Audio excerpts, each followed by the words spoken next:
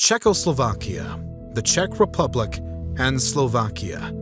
For many who are far distant from these nations, it's not always clear what the difference between the three is or when each came to be. Once divided, temporarily united, then divided once more, and still to this day, the Czech and Slovak people remain brotherly Slavic nations with strong ties and similar cultures. But if that's the case, then what exactly happened? Why did Czechoslovakia fall apart? Czechoslovakia was birthed in 1918 as the Austro-Hungarian Empire neared its demise and some of its provinces decided to unite in response to their vastly similar cultures, languages, and people. Bohemia, Moravia, and Slovakia formed the new nation and at first seemed to get on quite well.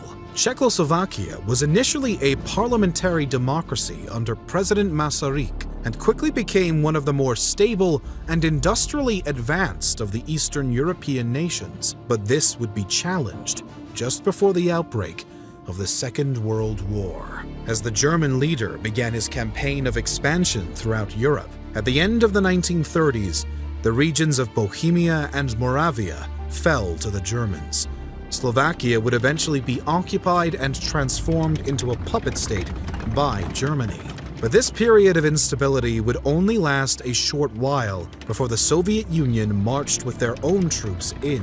Soviet involvement would soon catapult the Communist Party within Czechoslovakia to the top of the totem pole and pushed through a 1948 coup d'etat that would lead to the founding of the Czechoslovak Socialist Republic as the Communists took over the nation. This era of Czechoslovakia's existence would sadly be plagued by troubles no less. One of the most well-known challenges that the newfound Socialist Republic would face came in the 1960s and became known as the Prague Spring.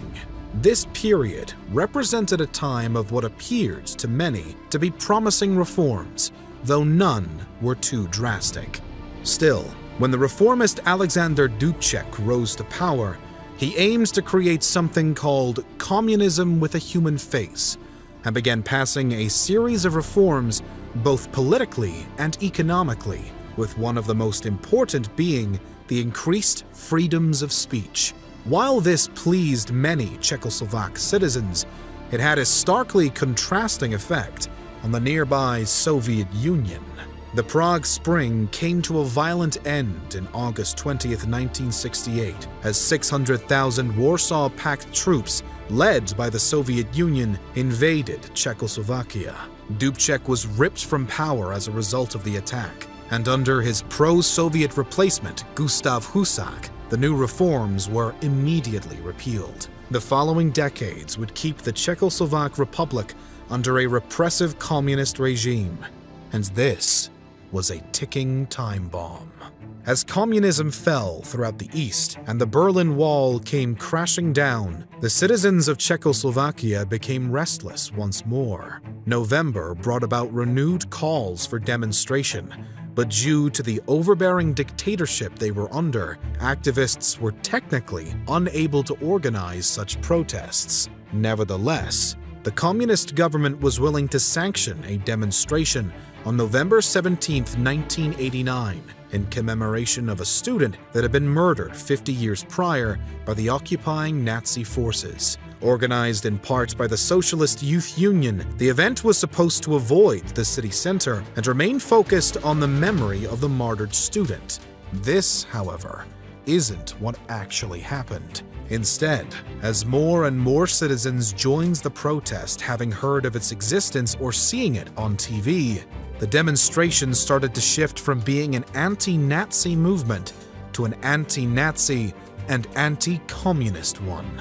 While the police allowed the first portion of the demonstration to carry on undisturbed as the crowd marched their way toward Wenceslas Square, this changed drastically. Banners of Stop Beating Students and Freedom provided a clear visual alongside the shouts of dialogue and We Don't Want the Communist Party, 40 years are enough, that triggered the police response.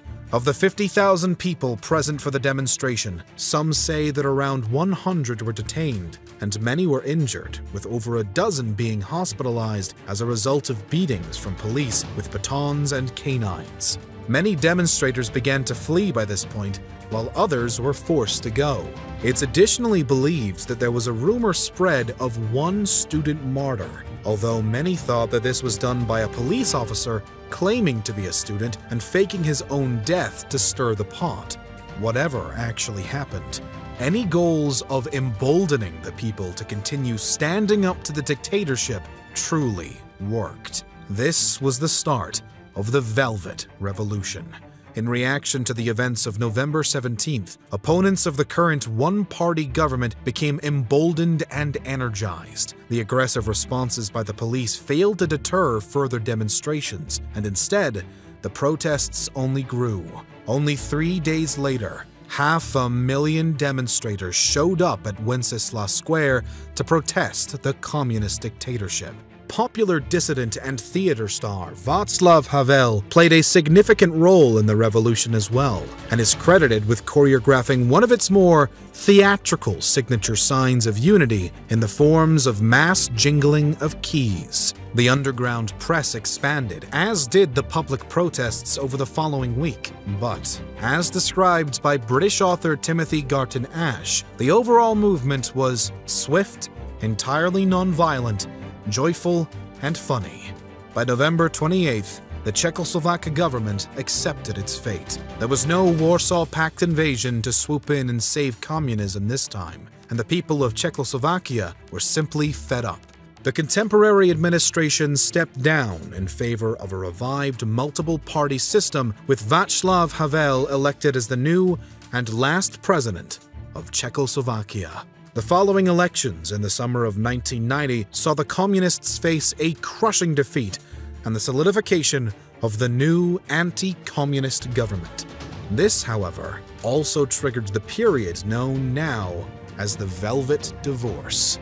Having just started the process of democratization, Czechoslovakia was suddenly facing a newly heightened tension of old, the divide between Czechs and Slovaks.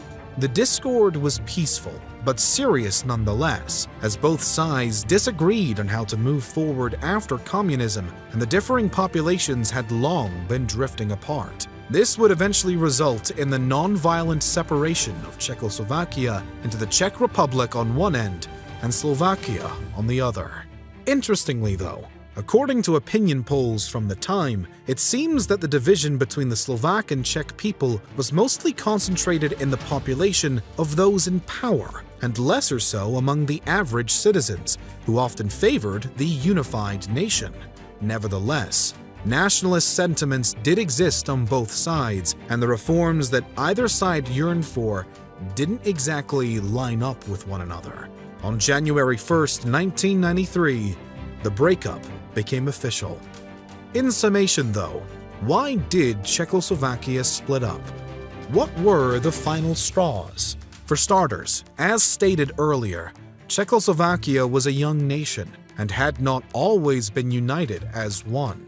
The Czech and Slovak people, though similar, were not identical. They had different cultures, languages, and politics. Despite the claim by those in favor of creating Czechoslovakia, cultural identities were one of a kind. Furthermore, the Czechs generally outnumbered and overpowered the Slovaks within the Union, but they had been the lesser of two evils, as the fellow Slavs in opposition to Slovakia's alternative of eventually being absorbed in some way into Hungary. The Czechs, too, had been hoping to pair up with a Slavic neighbor to counteract the significant ethnic German population within the Czech borders. However, after the deportations of Germans that followed the Second World War, this need was fairly non-existent. Additionally, after the collapse of the communist government, there was room for change within Czechoslovakia and the need for reforms. As stated earlier, these reforms proved a bit problematic as, though similar, the Czech and Slovak people and governments in particular couldn't agree on how exactly to go about adapting to their new democratic governments. And it's not that these disagreements were new, but instead, after the Velvet Revolution, It was just the first time that such discord could even be expressed. And now, with the threats of Germanization or Hungarianization gone, such disagreements really had no reason to be acted upon.